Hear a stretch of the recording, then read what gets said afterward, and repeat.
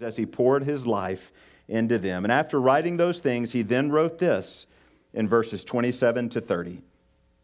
He wrote, Only conduct yourselves in a manner worthy of the gospel of Christ, so that whether I come to see you or remain absent, I will hear of you that you are standing firm in one spirit, with one mind, striving together for the faith of the gospel, in no way alarmed by your opponents, which is a sign of destruction for them, but of salvation for you, and that too from God. Now look at verse 29. Man, this goes radically against the theology of a lot of people in our world today. Listen to this. For to you it has been granted for Christ's sake, not only to believe in him, but also to suffer for his sake, experiencing the same conflict which you saw in me and now hear to be in me. Starting in verse 27, Paul encourages the Philippian Christians to likewise live their lives fully surrendered to the Lordship of Jesus Christ. And in these verses, we see the fruit that a Christ centered, fully surrendered life produces in God's people and in His church. So, again, what does a Christ centered focus produce? And this is in your bulletin if you want to follow along. Number one, Christ centered focus produces, produces Christ honoring obedience. Look at verse 27 again. Only conduct yourselves in a manner that is worthy of the gospel of Christ. Paul urged the Philippian Christians to live their lives in a way that glorified God. Now, what I want to do for the next few minutes is break this phrase down just kind of word by word or couple words at a time. First of all, look at what it says there in verse 27. Only conduct yourselves in a manner that is worthy of the gospel. Let's stop with the first word there, only. This is a very, very important word here. This word was not added into the English to make this sentence flow correctly. This word is actually there in the original language, and it is the word monon from which comes the prefix we add to many English words, such as monarchy, which is a nation that is ruled by what? By one leader. Or what I'm doing right now, this is not a dialogue, this is a monologue. I am speaking and you are listening. And, and, and hopefully, while I'm giving this monologue, monologue sermon, I'm not doing so in a monotone voice, right?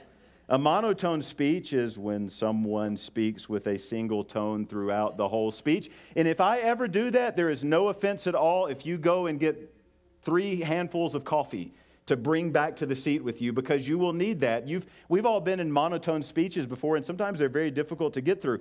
The, the word that he uses here, monon, means single or one. And so, so, starting out this verse, the idea here that Paul is getting at is only conduct yourselves in a manner that is worthy of the gospel. In other words, the Christian's singular focus, our only focus, should be on this. The greatest focus of our life, the singular focus of our life, should be to live our lives in such a way that Christ is glorified. So he writes here only, and then he says this conduct yourselves. Now, this is it's two words in the English, conduct yourselves, but it's only one word in the original language, and it literally means to live a certain way, but in conjunction with other people. And, and this word would have made a lot of sense to the original readers of this letter. It, the, Philippi was a Roman colony, and the Philippian people were therefore, they were Roman citizens. And by using this word that meant to conduct oneself according to the customs and the laws of the state, Paul was then bringing this word over and likening this to the Christian living a certain way according to the statutes of God's kingdom. So here, Paul was writing the Christian community in Philippi and urging them to collectively conduct themselves in a way that lined up with the ethos of the kingdom of God, which they were to reflect in Philippi as Christians there. They were to collectively show the world the will of God and the ways of God and how they were living their lives individually and as God's people in Philippi. And so he writes, Only conduct yourselves, and then he says this, in a manner that is worthy. This is the idea of, of, of, a way, in a manner that is fitting or suitable or appropriate. Now, I'm going to use an illustration here, and, and some of you are going to relate to this, and others of you are going to think I'm really strange when I give you this illustration. But when we were kids, many of us had a certain dream that we remember vividly, and we probably had this dream over and over and over again. To this day, Not just when I was a kid, but to this day, I will still have dreams where I am at a church service or I am in a, in a classroom or in a business, and all of a sudden, I realize I'm in my underwear. Anyone relate to that? Have you ever had dreams like this? Okay, two of you have. I am the oddball in this room. But, but and, and I'll get terrified in that dream. How in the world did I not remember to put on clothes today? I mean, I, I vividly have that thought in the dreams. How did this happen? How did I get ready, go to my car, drive here, and not realize this?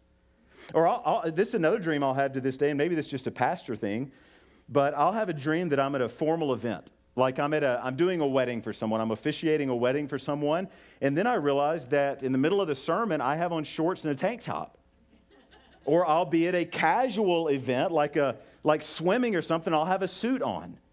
And those dreams are awful because in each of those, I was simply not dressed in a suitable way that fit the occasion.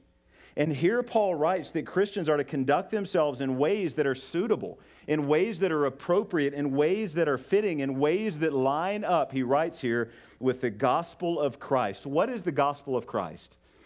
What its most basic meaning, the Greek word is euangelion. It means, it means good news of glad tidings. The mess, listen, the message of Christ revealed to us in His Word, my friends, is good news.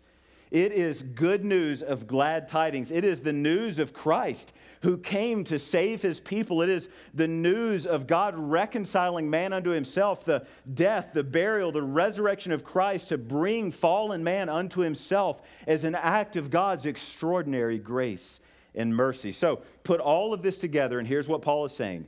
He was writing the church at Philippi, and he was reminding them that they were to live their lives in such a way that was fitting, in such a way that was suitable for the gospel, in a manner that lined up with the good news of Christ that they proclaimed to believe. For Christians individually and for the church collectively to not be aligned with and living out the will of God causes incredible damage to our witness in this world. It, it, listen, it matters how we live. It matters how we live. We live in a day and age that kind of says, do whatever you want to do. We live in a day and age that is antinomian, meaning that they just believe whatever law you want to keep, you keep that law, you keep that ethic, you do whatever you want to do. Everyone is a law unto themselves. But listen, how we as Christians live in this world matters.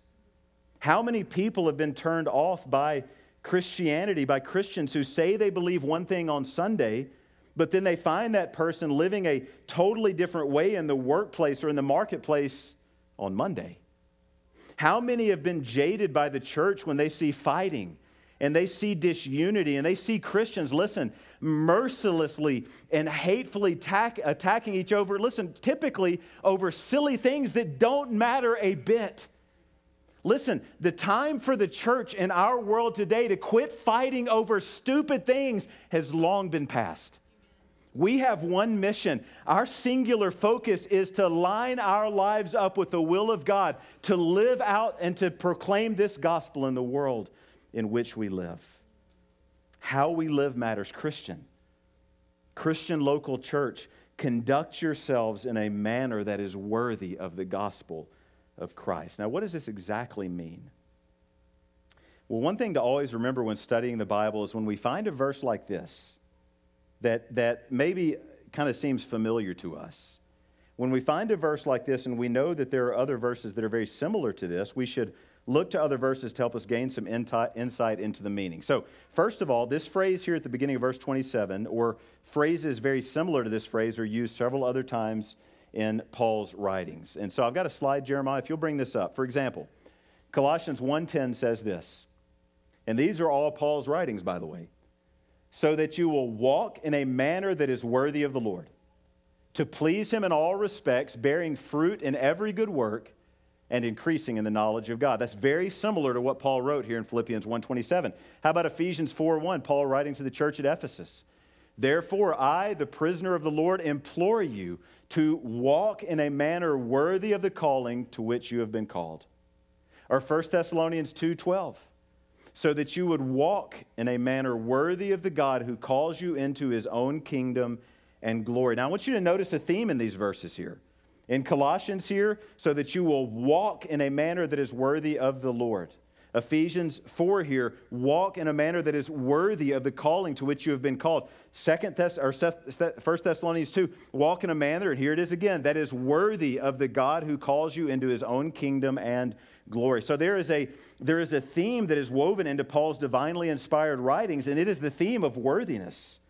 Conduct yourselves in a manner that is worthy. Walk in a manner that is worthy.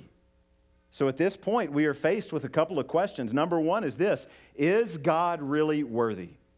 Is God really worthy? How worthy of our lives is Christ? How worthy of our lives is the gospel of our Lord? Is Jesus worth maybe 50% of our lives? Is he worth most parts of our lives. Maybe we should divide our lives into different categories and say, God, you can have this category, you can have this category, you can have this category, but this one here I'm going to I'm going to keep for myself. I think I can handle this category a little bit better than you can. How worthy is God of our lives? You know, it's interesting, but the English word worship actually comes from an old English word that is worthship. Worthship. And at its most basic level, worship is ascribing praise to that which we deem worthy of our praise, that which we deem to have the worth that is required for us to worship that thing or that person or whatever it might be. Now, biblically, the Hebrew word commonly used for worship means to bow the neck. The Greek word for worship that is commonly used means to bow the knee.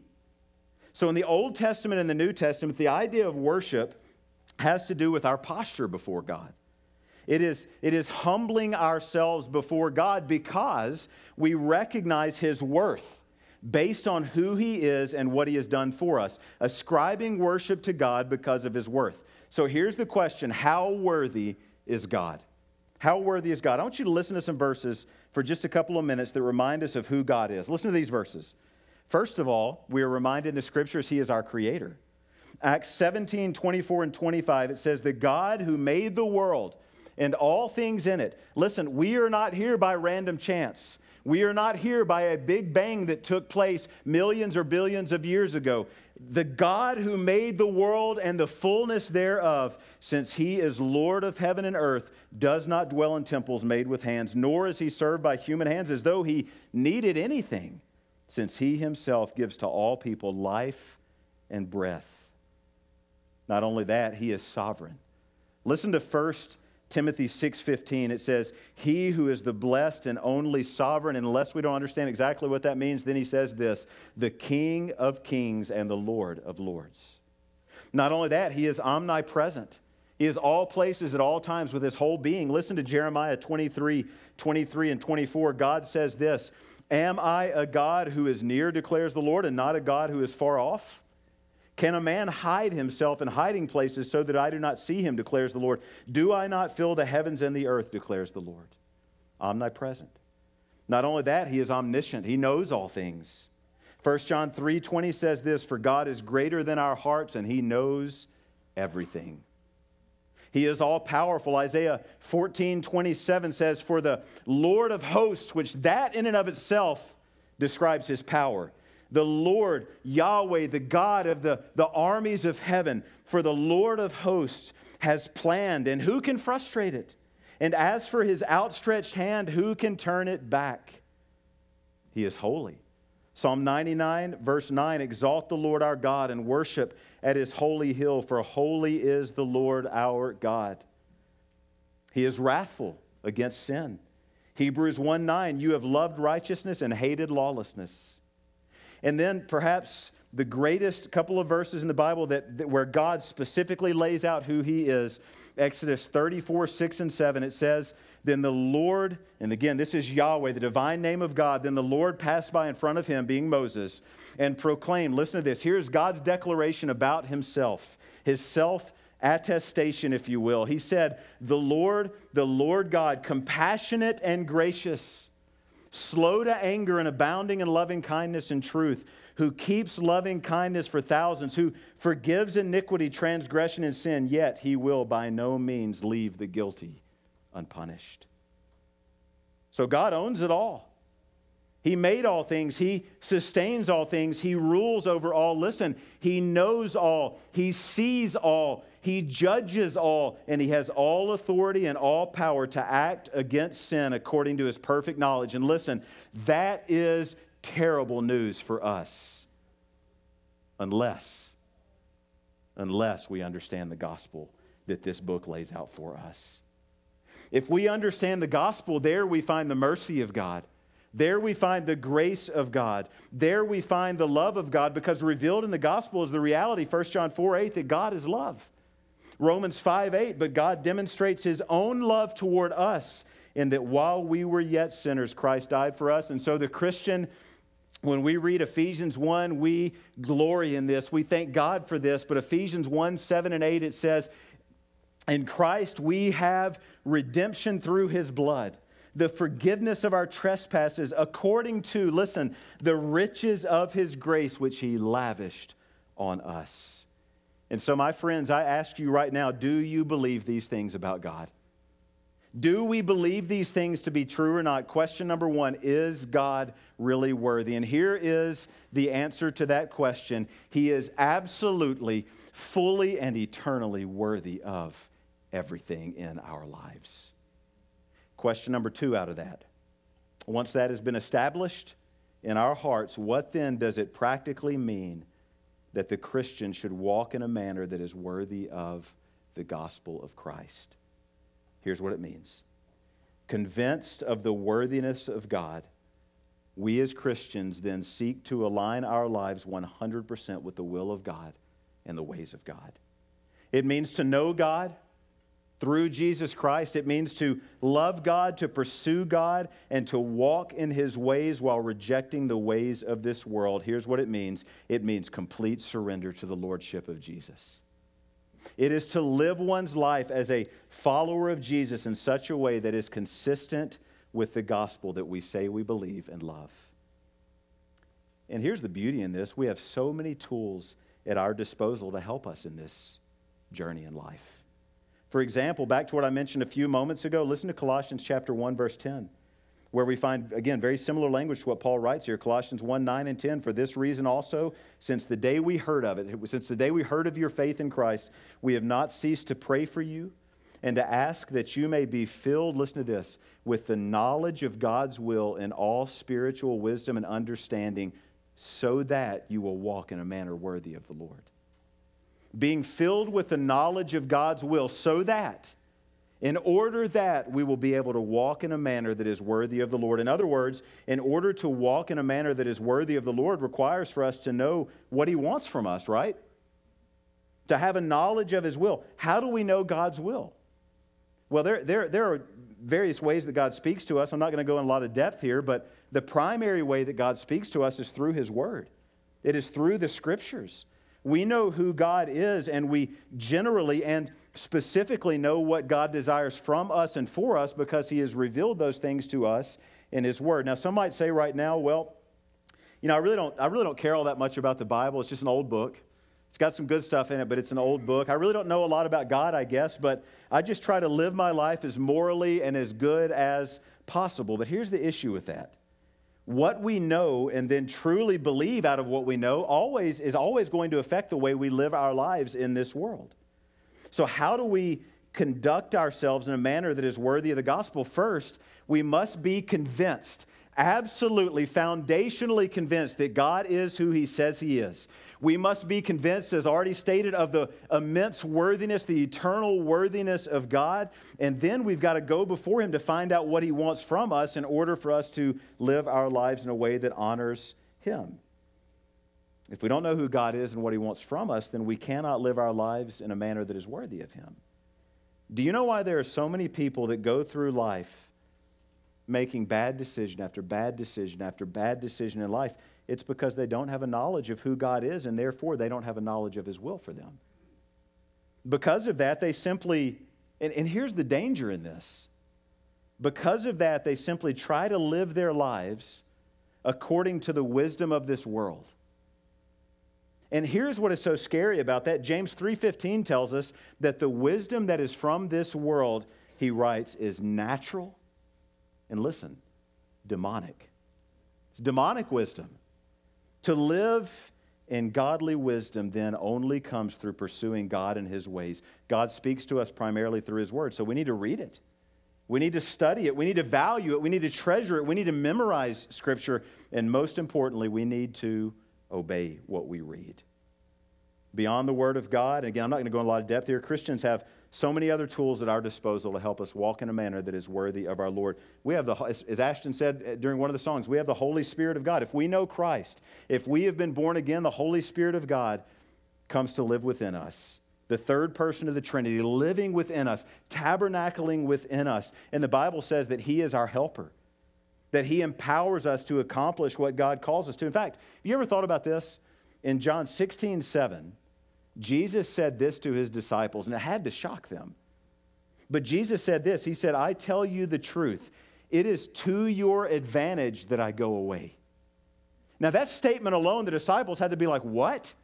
I mean, you're with us in the flesh. We can look you in the eyes. We can touch you with our hands. We can hear your words. And yet, Jesus said, I tell you the truth. It is to your advantage that I go away. Listen to this. Here's what he said For if I do not go away, the Helper, the Holy Spirit, will not come to you. But if I go, I will send him to you. So think about this. In the Gospels, when Jesus was physically with his disciples, the disciples really struggled, didn't they? I mean, we, they were impulsive, they were fearful, they did and said a lot of dumb things. They often struggled to comprehend the truth that Jesus taught. However, after Acts chapter 2, when the Holy Spirit came to permanently indwell the people of God, you see a very different group of disciples. They were not perfect by any stretch, just like none of us are, but they were bold they were wise. Many of them, majority of them, went on to be martyred for their faith. Why? The Holy Spirit now lived within them, just like He does in us today who know Christ. We have the scriptures, we have the Spirit of God, we have the church, we have other Christians to help us, to encourage us, to pray for us. As iron sharpens iron, so one man sharpens another. We have, Ephesians chapter 6 tells us, the whole armor of God we have the armor of God and all that goes along with that at our disposal in order to be strong in the Lord, as it says there, in the strength of His might, so that we will be able to stand firm against the devil and his schemes. We have all that we need in Christ to conduct ourselves as Christians in a manner that is worthy of the gospel of Christ. Now, let me share something else here that I think is really important. Just because a person lives their life in a manner that is worthy of the Lord does not mean that their life is always going to be easy. It doesn't mean their life is always going to be safe. It doesn't mean it's always going to be without trial. In fact, I read earlier verses 29 and 30 For your sake it has been granted, uh, for to you it has been granted for Christ's sake not only to believe in him, but also suffer for his sake, experiencing the same conflict which you saw in me and now hear to be in me. Here is Apostle, the Apostle Paul living his life in a manner that was worthy of the gospel. He was conducting himself in a manner that was worthy of his Lord when he wrote this letter, fully surrendered to the lordship of Jesus, and yet he was incarcerated by the Roman state when he wrote this letter because of his obedience to Jesus, which, my friends, is a great reminder once again that Christians belong to a better kingdom. We belong to a better kingdom than the kingdom of this world. And as we've been studying today, our ethics and our values are different than this world's. And at the end of the day, please listen to what I'm about to say. I don't know, I don't know what's going to happen in the next 10 years, but I will say this. We must obey our king. We must who our president is, what our laws are, must not change how we live our lives in this world. It must not change the resolve that is within our hearts that, Lord, I am going to live my life in a manner that is worthy of you. Fully surrendered to our Lord, even if that means difficulty and opposition and rejection. But also remember this this letter, Philippians, here has been rightly called the letter of joy. You see, the intersection of joy and trial is part of the Christian experience in this fallen and broken world, which is not our home. Paul was experiencing this. There are Christians around the world that are experiencing pain and persecution because they foundationally, fully, eternally believe that Jesus is worthy of everything. And here Paul was calling on the Philippian church to be a church that collectively conducted themselves in a manner that was worthy of the gospel of Christ because they loved God. God centered focus produces God honoring obedience. Your bulletin has point number two, and for you type A's, this is going to drive you crazy. We're not going to do point two this week. Time doesn't allow us. But I, I do want to close with this illustration. I shared this a long time ago, I believe, but it's a great illustration, I think. It's a historical illustration. David Livingstone, many of you have heard his name. He was a great missionary who lived in the 1800s. David Livingstone was a Scottish physician, and he was a devout follower of Jesus Christ. And one day in God's providence, Livingstone heard a speech from a missionary by the name of Robert Moffat. And this speech was about the lostness in this world and the needs in this world. And Livingstone became deeply convicted. Livingstone would then choose to spend his life in Africa in the mid 1800s, early to mid 1800s, in Africa, seeking to reach unreached peoples with the message of Christ. In 1857, he gave a well known speech at Cambridge University in England after spending the previous 15 years in Central and Southern Africa. A little, little context on this story here, the story of this speech here. The students at Cambridge at this time had a tradition of, of kind of heckling their speakers to see if they could mess up their speech, to see how good the speaker was at keeping his composure. Please don't get any ideas from that. We don't want that here.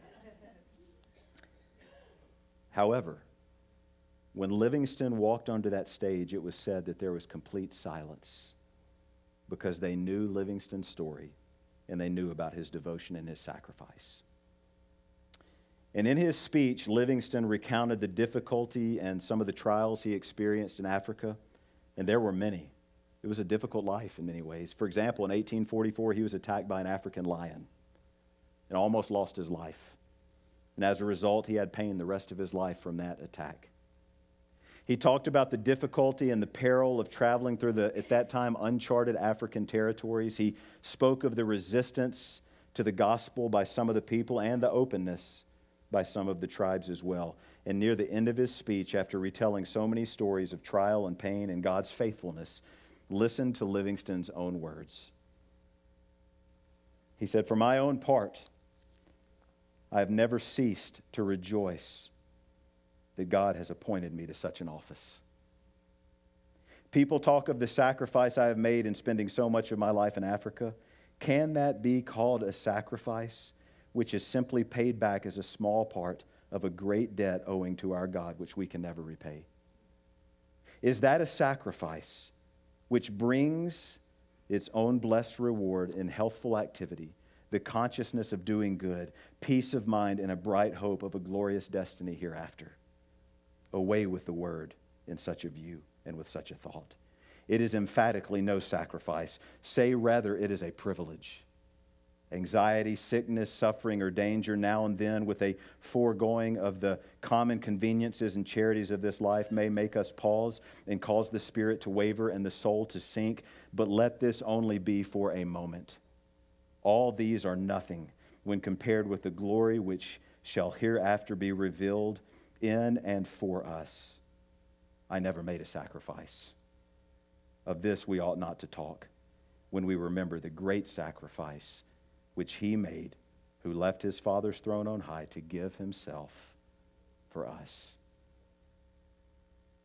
Only conduct yourself in a manner that is worthy of the gospel of Christ. Is Christ worthy enough to have your life?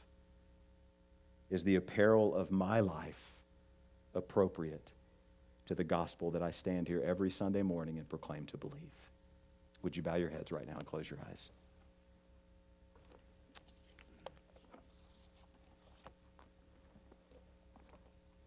Here in just a minute, as we begin to sing this song of worship, an appropriate song called Is He Worthy? I'm just going to be standing on this front row singing, standing up here at the front.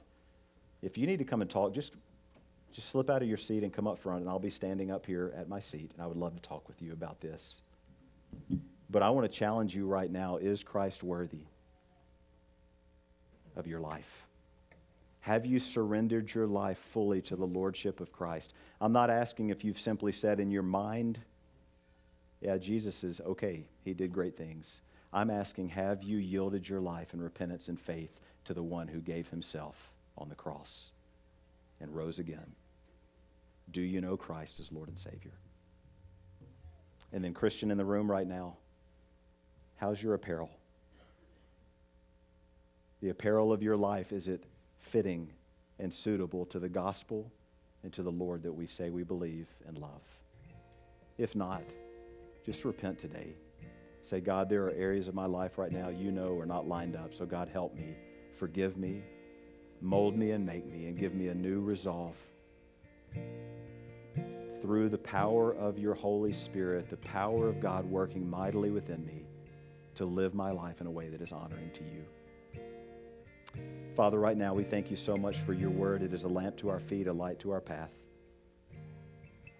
Lord, help us to love you. Lord, those right now who are wavering in their belief right now, only help their unbelief. God, do in our hearts what we could never do right now. Convict us, encourage us, mold us, and make us into the image of Christ, we pray in Jesus' name. Amen. Would you stand and let's sing this song of worship to our great God?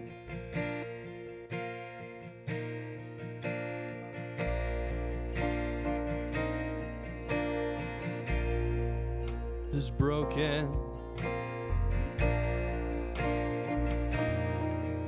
You feel the shadows deepen.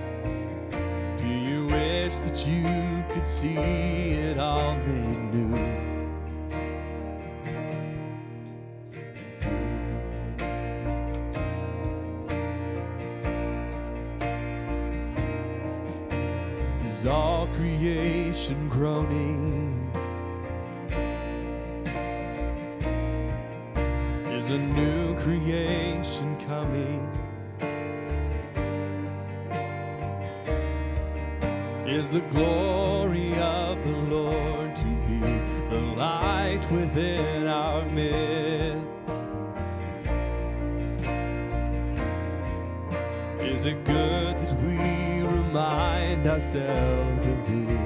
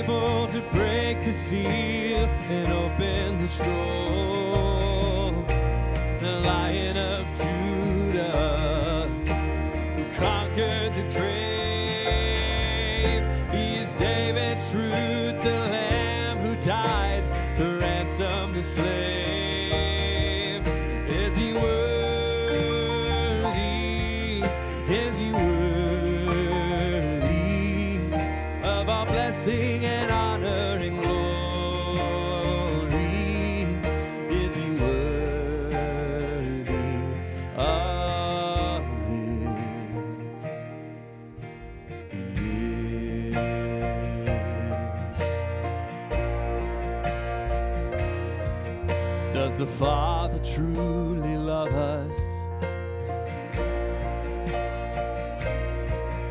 Does the Spirit move among us? And is Jesus our Messiah? Hold forever those he loves. Does our God intend